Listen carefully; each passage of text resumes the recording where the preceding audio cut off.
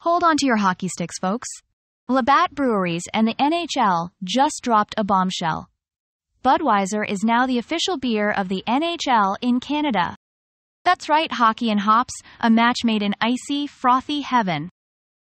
So, what does this deal include?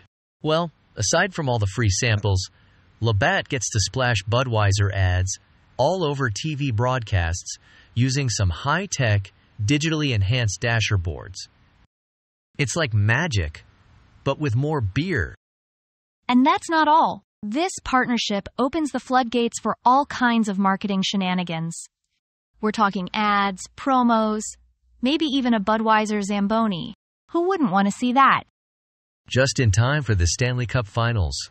Edmonton Oilers versus Florida Panthers. It's going to be a showdown.